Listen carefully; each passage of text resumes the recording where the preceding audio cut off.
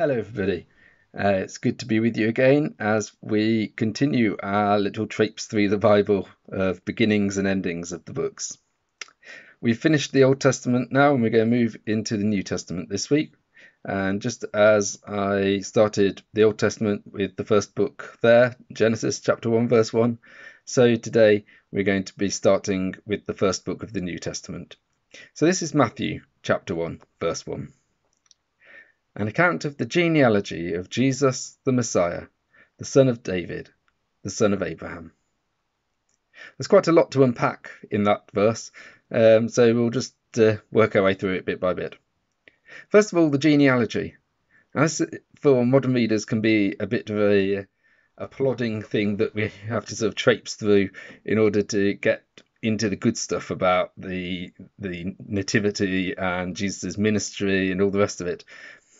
But for Matthew's original audience, this was really important. That's why he started with it. You see, Matthew's original audience was Jewish primarily, and for the Jews, it was really important to know the the credentials of the person that was being talked about. And the way that you'd know a person's credentials was by their genealogy, by knowing who their family was. Matthew starts his account with a genealogy because he wants to show the, the pedigree and the authority that Jesus has and that, and show why his audience should pay attention to what he's going to write. He says that it's the genealogy of Jesus the Messiah.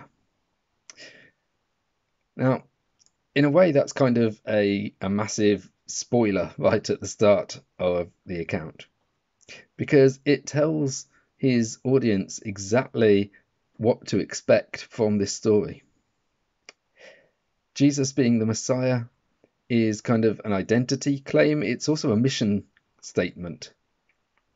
It's saying that Jesus is the anointed chosen one of God, the one who would bring salvation and forgiveness of sins, the one who would bring freedom and who will suffer on our behalf. For anyone who was wanting to see, then the Old Testament was shot through with messianic prophecies and promises. And passages like Psalm 22 or Isaiah 53 spoke of how the Messiah would suffer in order to bring freedom from the consequences of sin, salvation from being trapped in a life and and eternity of of sin and death. Jesus is the Messiah. But then we're told about two particular people who are in his line the son of David, the son of Abraham. So let's think about the son of David first of all. Now, David was the great king of Israel. He was the one who represented national Israel at its peak. It was the golden age for, for the nation state of Israel. David expanded Israel's borders. He was this great military commander. He won many, many battles for Israel he was blessed by God. And being called the son of David not only means that he that Jesus is kind of tied to to this great king of Israel, but actually it means something more than that because the son of David, the offspring of David, was told that they were going to be given the throne of David forever.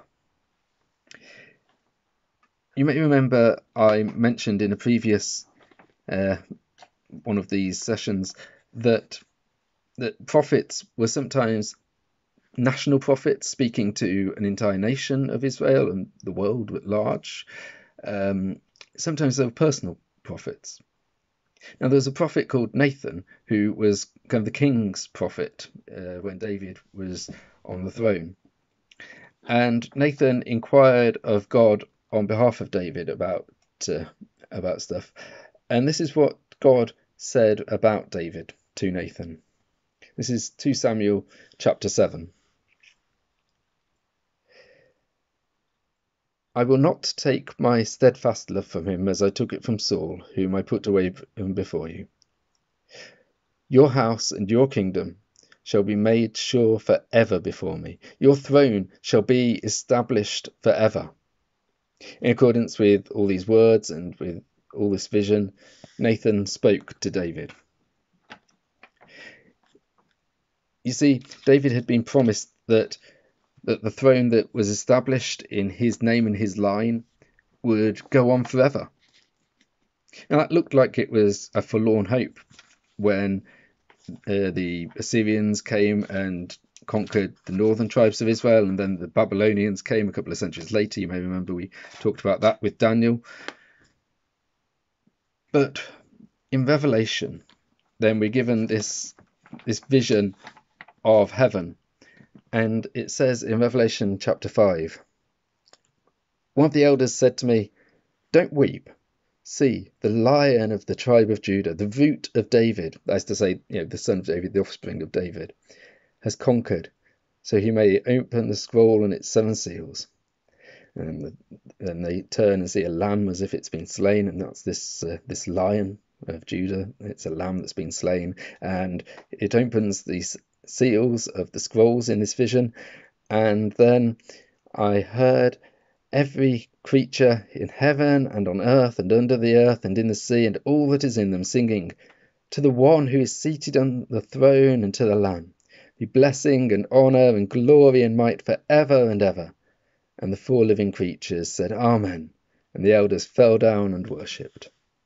So you see, this son of David did establish and inherit the throne forever and ever.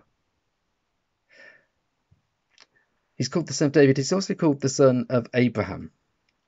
And for that, we have to, of course, go back to Genesis and look at the promise of God to Abraham. God promised that through his offspring, then the world would be blessed. This is uh, Genesis 22. He says, I will indeed bless you, and I will make your offspring as numerous as the stars of heaven and as the sand that's on the seashore. Your offspring shall possess the gate of their enemies, and by your offspring shall all the nations of the earth gain blessing for themselves, because you have obeyed my voice. The promise of God through Abraham was that through his family, goodness and blessings would come to all the nations of the earth. In Jesus, we're told in that first verse of Matthew's Gospel, that promise of blessing to all the earth is coming to pass. In Jesus, that promise to David that his descendant would be on the throne forever is fulfilled. And in Jesus, all of those promises and prophecies about the Messiah throughout the Old Testament are fulfilled. What a great way to start the New Testament with this promise and this showing that Jesus is the Messiah, the Son of David, the Son of Abraham. Well, take care of yourselves, and I'll see you again soon for the last verse of Matthew's Gospel. God bless.